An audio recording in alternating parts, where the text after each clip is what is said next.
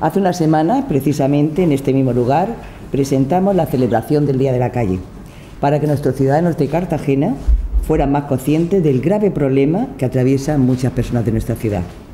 En aquel momento ya anunciamos que este equipo de gobierno no se iba a quedar con eso solamente, sino que pretendía hacer otras acciones de forma eh, conjunta con lo anterior. Por ese motivo, hoy presentamos esta novedosa Escuela de Verano para Personas sin Hogar y Transeúnte, con el fin de potenciar los programas para este colectivo. Esta actividad lúdica formativa está dirigida a 20 personas en situación de riesgo de exclusión social que se impartirá los días del 18 al 22 de julio en las aulas del edificio de la Milagrosa en horario de mañana. Nuestro objetivo fundamental es proporcionar un espacio en donde las personas potencien su vida saludable y actitudes de comunicación. Esta escuela de verano tendrá, fundamentalmente, consistirá en talleres de autoestima, manualidades, primeros auxilios, seguridad ciudadana y diversas salidas por la ciudad.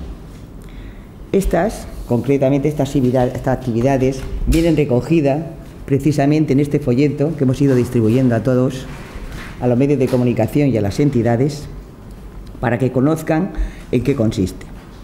Folleto que recoge las actividades, lugares y entidades que participan, bajo el eslogan fundamental por el derecho al ocio y al tiempo libre de las personas sin hogar. Quiero agradecer, como lo he hecho al principio, otra vez, la colaboración de todas las entidades sociales de nuestra ciudad. Fundamentalmente quiero destacar el papel de Cáritas, La Huertecica, Cruz Roja, Hospitalidad Santa Teresa, ACEN, que sé que vendrá un poquito más tarde, así también con la colaboración de Ápices, Puerto de Culturas y la Policía Local. Estas actividades que se presentan hoy son una muestra más de ese trabajo diario que venimos realizando la Concejalía de Servicios Sociales en colaboración con todos vosotros, eh, por el colectivo de personas sin hogar, para poder ofrecer muchas más oportunidades y posibilidad de mejorar la calidad de vida de estas personas y llevar al final, cuyo objetivo, creo que lo que llevamos todos, es que esta gente tenga una vida digna.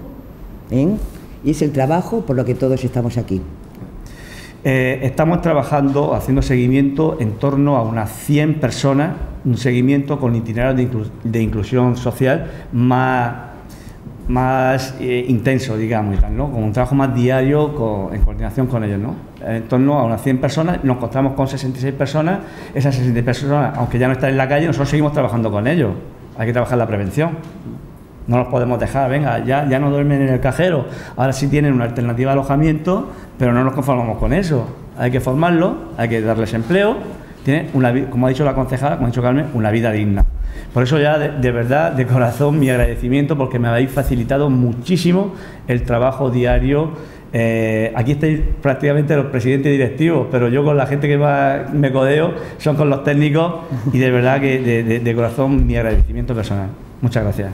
Pero también agradecer especialmente al equipo técnico que se está partiendo el pecho diariamente en estas tareas en los pocos meses que llevamos trabajando desde que se separó, como ha dicho eh, el servicio de personas sin hogar de vivienda eh, se han reforzado ambos servicios.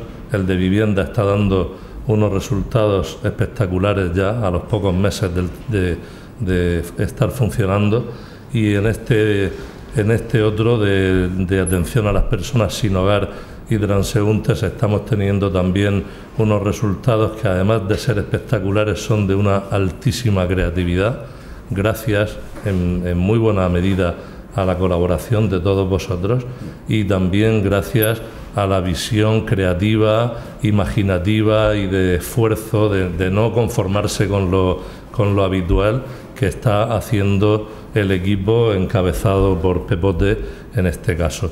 Por tanto, agradecer también el trabajo. Esta es una experiencia pionera, la primera, yo creo que la primera que se va a hacer en España en este sentido. Eh, no queremos parar aquí. Este año es una experiencia modesta y con los recursos, digamos, que tenemos, más con creatividad que con recursos, si cabe, pero el año que viene queremos, por supuesto, reforzarla y avanzar porque el objetivo, como se ha dicho ya, es dignificar a las personas sin hogar y que realmente su vida esté cada vez más normalizada y, sea más participativa de todas las oportunidades que la ciudadanía eh, y la sociedad tiene que prestarles. Por tanto, pues agradecer a todos, también a Carmen, eh, el apoyo y el respaldo que está dando a este sector de la política social que es crucial porque estamos trabajando precisamente en el campo de las personas más excluidas de los excluidos. Y, bueno, eso realmente es hacer política social con, con todas las de la ley.